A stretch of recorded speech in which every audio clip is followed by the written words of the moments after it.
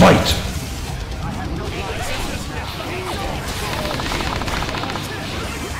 Hey guys, this is Versatile from VST Power Now hosted on Project Phoenix Media. In today's video game tutorial, I'm going to show you how simple it is to play Command & Conquer Alert 2 Yuri's Revenge online. And we're going to use this awesome program called the CNCNet and use their free server. So how does it work? Go to the more info section. There's a link where you can download the latest version. So click here, download and play. It's going to be an executable setup. So here is on my desktop. I'm going to double click and run it. And for guys that are curious, I'm actually using the free copy of Yuri's Revenge from Origin. Thank you, Origin, for that recent giveaway.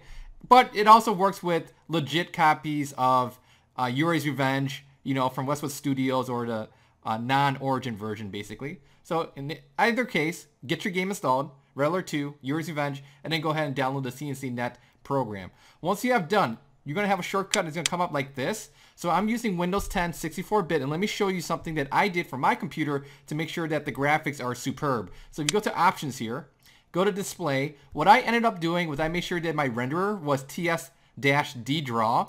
And then also, through experimentation, I also clicked this box to make it green. Because if I didn't, I would get laggy graphics in the game. It was sort of slow and sluggish. But once I did this, it worked out great. So you're going to have to play around with it with your particular computer system and pick the right optimization.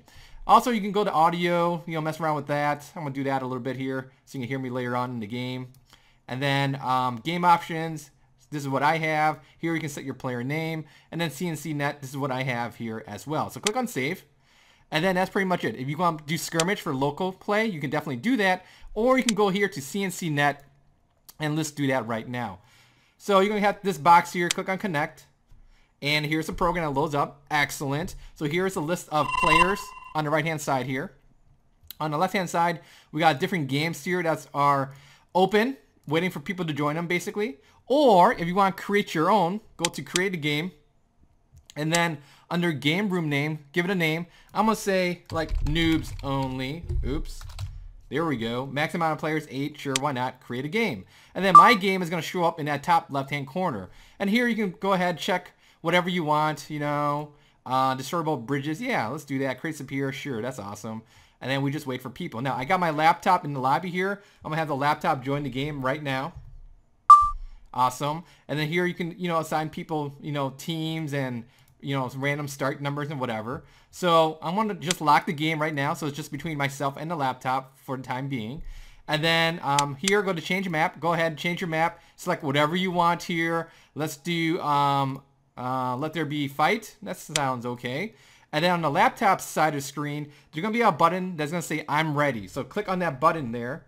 And then you'll see this green checkbox over here. And then I'm going to click on this button, launch game, and the game will start. And we're ready to have a lot of good times. I had a lot of eight-player online games. That's awesome. So if you get a chance, download or install your copy of Red Alert 2 with the Yuri's Revenge. Get the CNCNet software program, log in, and get ready to have a lot of good times. So with this said, let's jump straight into the gameplay footage tutorial. Let's do this.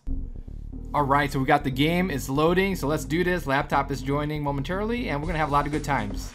If you press enter, you can type the people. Or if you have allies, you can press backspace. So I'm going to go ahead, press enter. Yeah!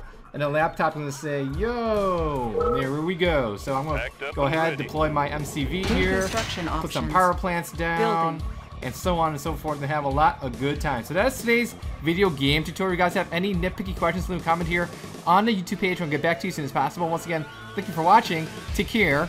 Bye.